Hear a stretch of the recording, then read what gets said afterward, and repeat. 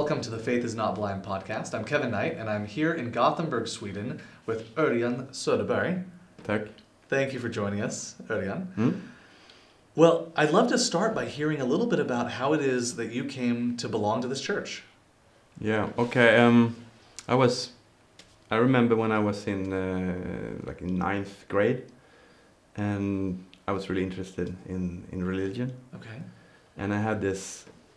How do you, if there ain't any specific truth, how can you then determine it if you do something bad or good? Okay. So everyone is talking about it constantly, Sure. but in in order for it to work, it needs some external moral. Uh huh. And uh, so I was actually interested. I, I read some of the Bible even back then, and and I checked out some other things like that. I had um, like most of the people in Sweden. I don't have any religious parents, Okay. But they did take me to Sunday school when I was a kid, just for checking it out. But normal Swedish church, Yeah, state sure, church. Sure.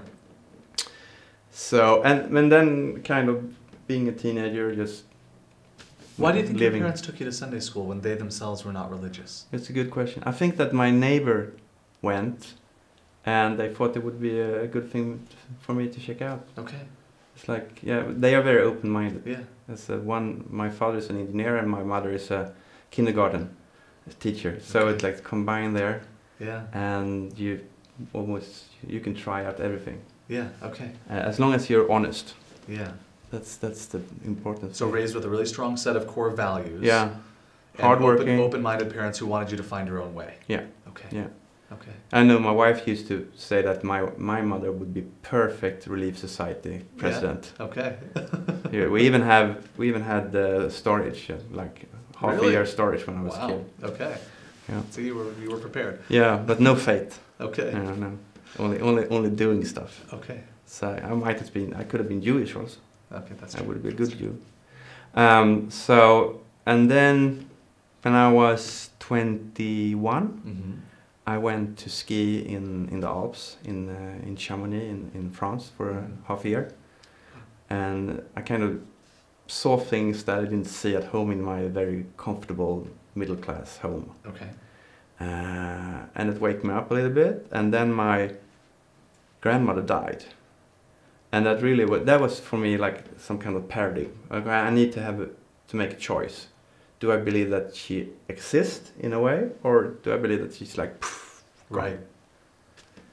So I actually then I had been at some parties. It's a little bit messed up here because actually I was I went to church back in '85, three years before I got baptized, because I had a I was invited to parties. Okay.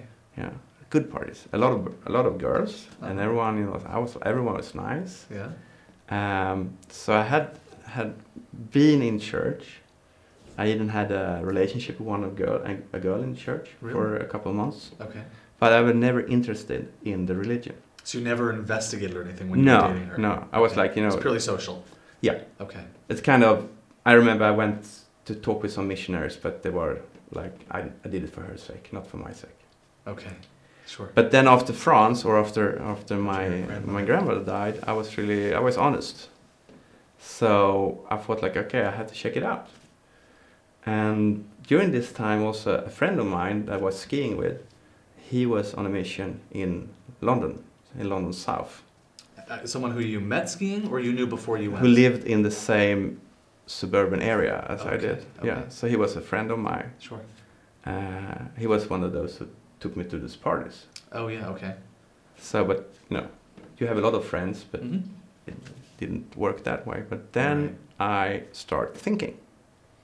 So it was a tipping point for me. I had like kind of a cool, I like got a lot of knowledge, but it didn't matter anything. Mm-hmm. And then suddenly it started to matter. So I read the whole Book of Mormon. I had read the whole Bible, and I called the mission office and said, "I know I want to uh, be taught. I want to have some teaching." Mm-hmm. And and then I was After ready. you read the entire Book of Mormon, you read it first before you wanted. Yeah, to... I, I might have skipped some in Second Nephi. I'm not really sure there. Okay. yeah, but most of it. Some of the Isaiah chapters, maybe. Yeah, Okay. probably. You wouldn't be the first one. No. Okay. So, uh, but then I did the kind of a turn to my heart and said, okay, so this is something I need. Mhm. I need to ch- I need to check out if it's true to me. Mhm. And that was totally different because before it was just ah, that's that's a neat idea, but it's nothing for me. Um, so I was actually baptized in England, not in Stockholm. I lived in Stockholm, Uh-huh. but my friend was on a mission in England. So I arranged so that I could get there, and he didn't know it, but he baptized me then in, in 1988. How long? Uh, what was the what was the time span from your grandmother dying to you getting baptized? About three months. Three, that's so that's pretty pretty quick. Yeah. So driven by a sense of urgency that you really wanted to know what had happened to her. Yeah. Do you feel like at that time you were able to answer all of the questions that somebody might have before they join the church? No.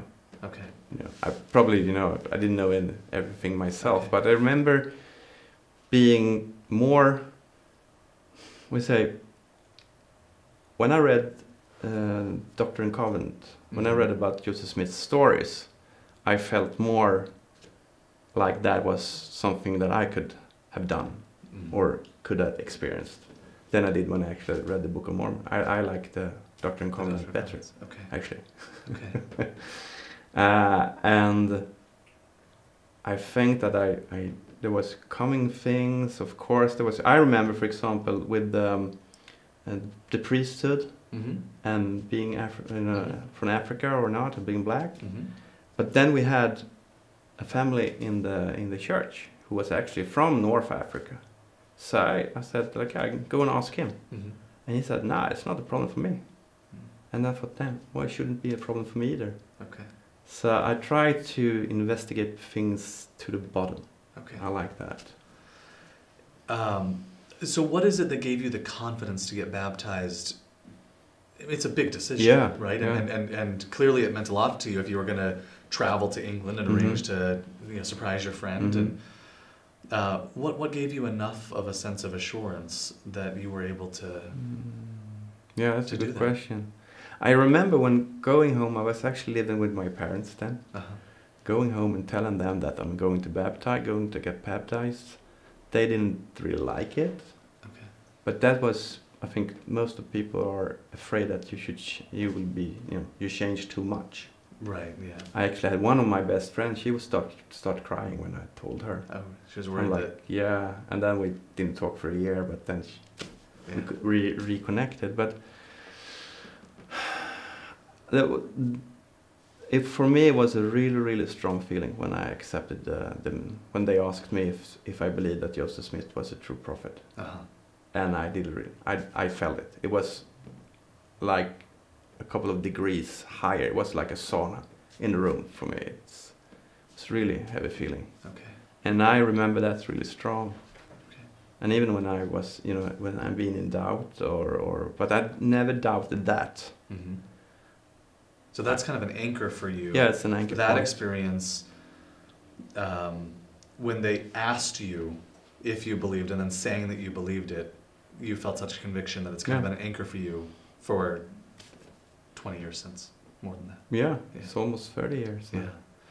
and um, how much longer after you got baptized did you meet your wife Ooh, one year? one year About okay. one year? and was she a member of the church already Yeah. she was okay I remember when she stepped in the Sunday school room. I, I remember her hairdo and her stockings. Okay. Yeah. All right. Beautiful. Beautiful. So you have now spent more time as a member of the church than you did Yeah. um, before you joined. Yeah. What's that journey been like since the baptism? You know, we often refer to baptism Oh, yeah. as a gateway, right? Mhm. How have you continued to investigate the church? You said you like to get to the bottom of your of your Mhm. questions. What has that been like for you over almost thirty years? now in, in, these last years when people talk about ah, I didn't know that and ah, I didn't know Uh-huh. I'm like what It's Uh-huh. been there all the time I read it 25 years ago Yeah. so I've actually read a lot Okay. uh, and I didn't understand everything Mm-hmm. But for me it's very important that that you need always to think who is, when is it happening, and where and who, because even now, you in the states, I mean, the, in Sweden, we we don't share the same culture. Right. Uh, we share some values and things, Mhm. and we have the church culture and all that. But if someone say something in Sweden and you say the same thing in the States, it doesn't mean the same thing. Right. Uh, and for me, that's also the, the the foundation of design. That's that's my occupation I work with. You're an industrial designer. yeah, Mm-hmm. so that you need to understand who is doing something in order to understand what they are doing. And I so think you I had to create think it for me. them because you Yeah. have to design for how they're going to use it. Yeah. Uh huh. And then I, so I, I think that when I talk, for example, I mean this this story about those people um, leaving, and then I don't remember what it was called. Oh, everyone who died during the winter, the pioneers. Oh yeah. Uh-huh. Yeah, Uh-huh. it, it's you can when you think about it, it's like that's stupid to go uh, to walk uh, in in the wilderness in, in the middle of the winter. Mhm. That's really stupid. And it's not until you know what should happen to them if they stayed Right. that you understand why they walked. Right. But if you think of that, I wouldn't do that. No, but you have like television and internet and Airplanes. yeah, and- yeah. heat. You know, it's, and I think that most of the times people make that mistake. Very interesting. So what I'm hearing is when we when we look at the history of the church, for example, Mm. you, you try to understand the context in which those people did what they did. Mm. Um, bringing your background as an industrial designer, where you have to first understand why somebody thinks the way they do before Mm. you can. That's very interesting. Mm. It gives you a bottom. uh, For example, I think about if something is written in the scriptures. Mhm. No, it's well, in the Book of Mormon. He sat there and grave in the. He was doing the plates first, Mm-hmm. and then graving in the plates. It's not you don't you don't grave in something around kosher. It's like yeah, I don't know what to write, but here's something nice. Yeah. You actually think about it, and you feel the spirit. So I was, I tried to think. Okay, so why does he write this? Why is it in the book? Yeah. It needs to have some reason, Well, and I, th- then it's up to me to understand that reason. Okay. Have um, you have three kids, right? Sorry? You have three kids. Yeah. Okay.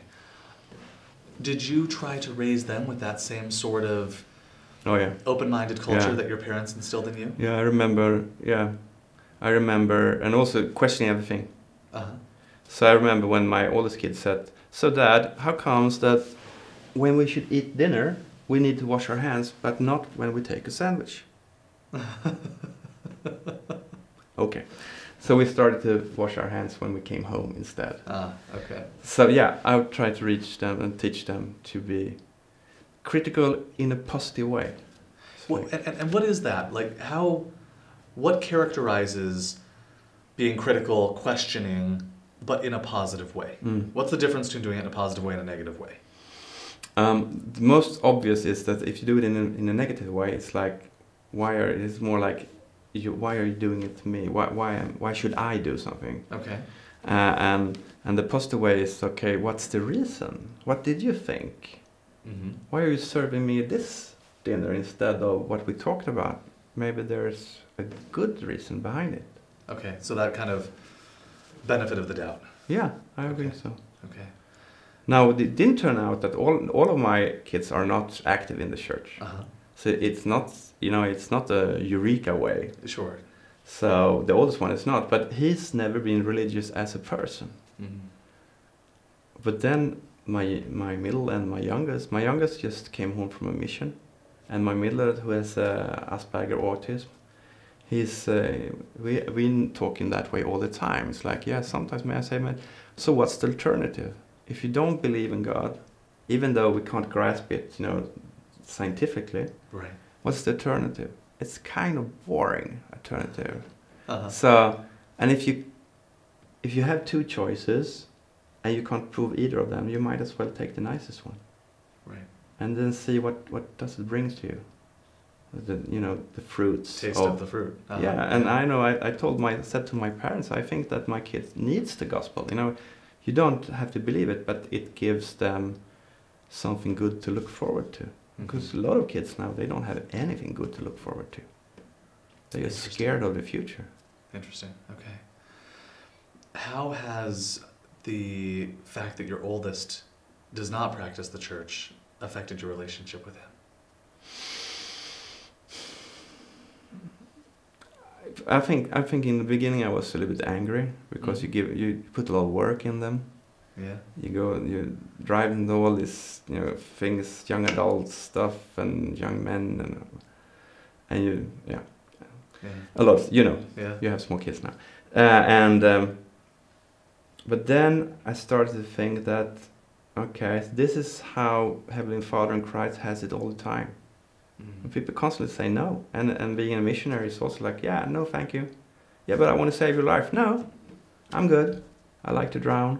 Mhm. And I kind of accepted that in a way also that for myself then, you know, as I told you, I actually met the missionaries and then didn't care, didn't care, didn't care, and then went and, and did my own appoint, Mhm. appointment Mhm. and get baptized and, and I'm still active. Mhm. And I would like to, to talk with those first missionaries. Said, okay, it went, no, it turned out well. It worked out. Yeah, and I think it's the same thing here. It's like, yeah, as long as they're good persons, and they strive, and they kind of, sometimes, a non-believer could be more Christian than a Christian, in the way that they live their lives. I'm uh, I'm thinking about the question that I asked just a couple of minutes ago. Hmm? What's the difference between that, um, the positive questioning versus the the cynical questioning? And uh, and and it reminds me of the two times you investigated the church. Once Yeah. you didn't really have any intent to do anything with it. Hmm. Um, you were doing it as a courtesy to the girl you were dating. And the second time, it was because you actually felt the need to know what had happened to your grandmother when she passed away. Uh, that strikes me as a very, Hmm. a very good illustration of the difference between not having real intent and having real intent Hmm. to act, and, and how God is, is more likely to give us that revelation when He knows that we have that Oh yeah, intent. oh, yeah. Um, interesting. We talked uh, about how in the in, in in that conversion process, one of the anchors for you in your testimony was that feeling when you were asked if you believed in Joseph that Joseph Smith was a Mm. prophet. Mm. Um, and so, so you're able to go back and, and point to this very specific moment where you felt like you gained at least a, a significant portion of your testimony. yeah. Have have do you feel like your kids have had those similar moments? Is there anything that you have done to help them to set them up to have those experiences that will serve as anchors for them? Probably not. Okay. Yeah, and that hurts me a little bit. I don't really know what I should do. I mean, I have some, not that strong, more Mhm. like when they were younger, Uh-huh. and like we were praying over a rabbit that fell from very high down to a very hard floor, and he made it, Okay. and it turned out well. And then, you know, some testimony meetings at the youth conference and stuff like that. But the the contrast is not that big. You know, it's it's harder to be born as a member, and then kind of see what you have. And then have a dramatic yeah, so you may not have a dramatic event. Yeah, it's like me being a middle class kid, and then not before I, I met this French crack woman who lived next door, who was really really nice, but had an awful life. Then I understand the gap Yeah. between me and her, and I, and I still try to do that. I still we are constantly a member of the Red Cross, for example, Uh-huh. because they send a newspaper every month, and you can read about people having a much lesser life than we have, Right. and we need to appreciate it. Okay. What is what's one piece of advice that you would give someone who maybe grew up in the church? Maybe they're a multiple generations member of the Mm. church and so maybe their upbringing has been a little bit more like your children where for them they were surrounded by the gospel Yeah. their whole lives. And and and now maybe they're beginning to investigate in earnest in adulthood. Maybe they took for granted or or Mm. or, or didn't really um, ever um, actively seek those answers for themselves. They were kind of going with the flow. Mm. And now, for whatever reason, they find themselves in a, in a position where they're they're really asking themselves, "Do I really believe this?" Mm. Um, as somebody who joined the church in adulthood, what advice would you have to somebody like that? To really try to see with true eyes how it is to live without it. To understand that it's kind of an empty life. Okay. Thank you, Örjan. That's very, um, very insightful discussion. I appreciate you taking some time Thank with us you. today.